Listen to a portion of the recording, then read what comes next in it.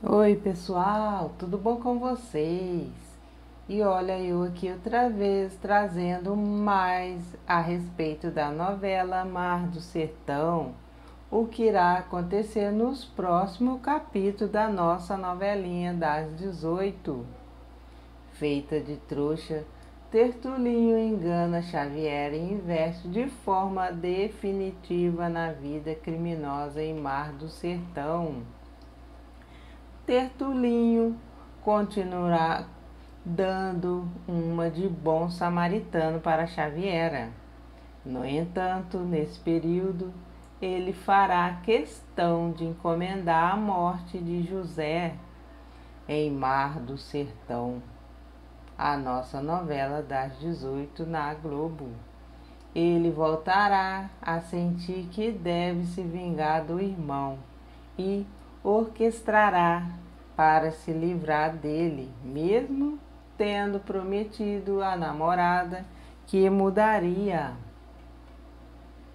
O vilão passará a investigar inúmeras vezes que Fubá, mimoso, acabe com o mocinho.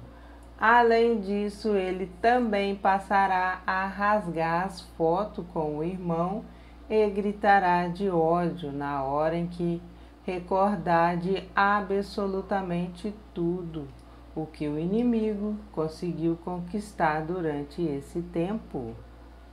Mas o matador de aluguel não irá conseguir matar o homem tão facilmente.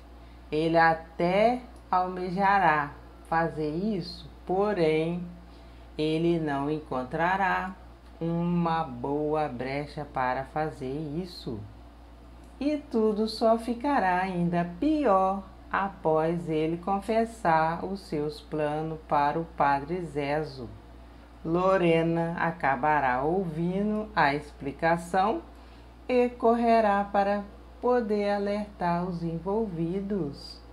Novamente, Timbó, juntamente com seus aliados, irá orquestrar uma maneira para salvar o marido de Candoca, mas das mãos imundas do bandido durante todo esse tempo.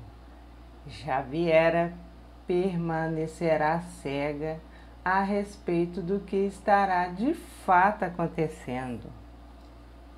Ela nem ao menos desconfiará de nada, já que Tertulinho estará supostamente pedindo perdão para os demais.